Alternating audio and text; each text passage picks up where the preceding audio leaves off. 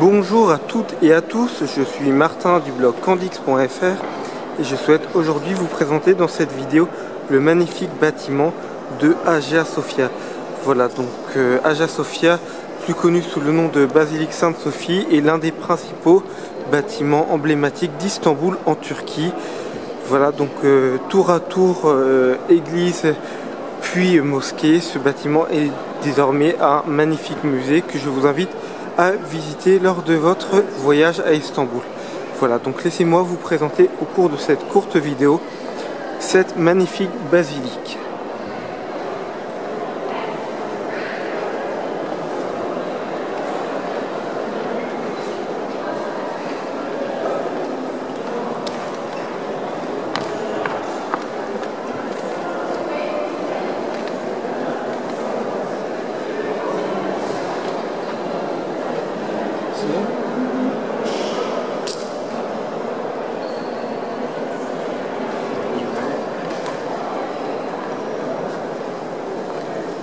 Qui est assez intéressant dans ce bâtiment, c'est le mélange entre l'influence religieuse euh, chrétienne et musulmane. Par exemple, euh, ce bâtiment fut créé à l'origine comme étant un bâtiment chrétien.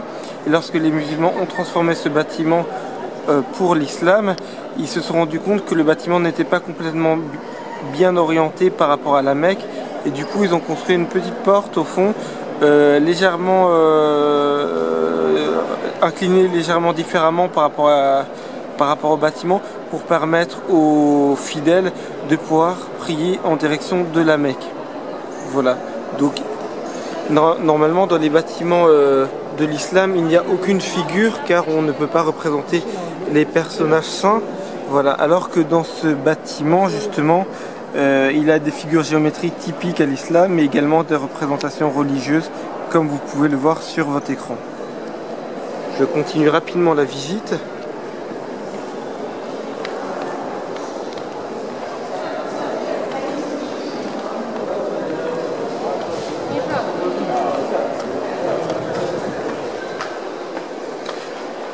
Voilà, vous apprécierez notamment lors de la visite la magnifique coupole qui se situe au sommet du bâtiment.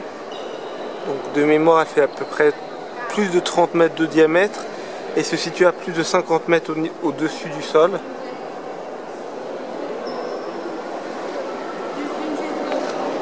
Et euh, vous apprécierez également les très nombreuses mosaïques euh, qui sont situées dans cet édifice, comme vous allez le voir dans quelques instants.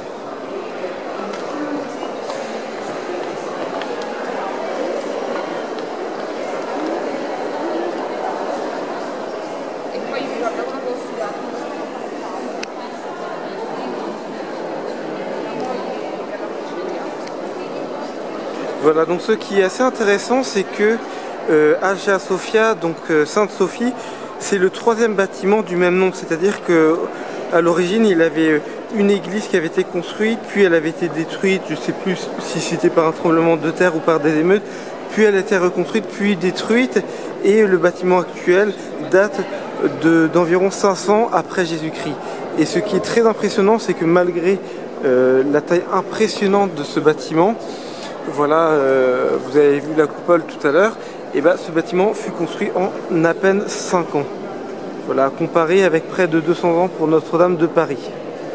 Et pourtant, ce bâtiment a résisté au tremblement de terre et au pillage et tient toujours debout plus de 1500 ans après. Voilà, cette vidéo est désormais terminée. Pour finir, je souhaite vous présenter une magnifique vue sur le Bosphore. Voilà, Sainte-Sophie se situant, en Europe et comme vous pouvez le voir sur votre vidéo, vous pouvez voir la mer, donc le, détroit du Bosphore et au loin l'Asie. Voilà. Est-ce que vous avez déjà été dans beaucoup de bâtiments religieux euh, ou anciennement religieux euh, depuis lequel on peut voir plusieurs continents Moi en tout cas c'est la première fois. Voilà, cette vidéo est désormais terminée, j'espère qu'elle vous a plu et à bientôt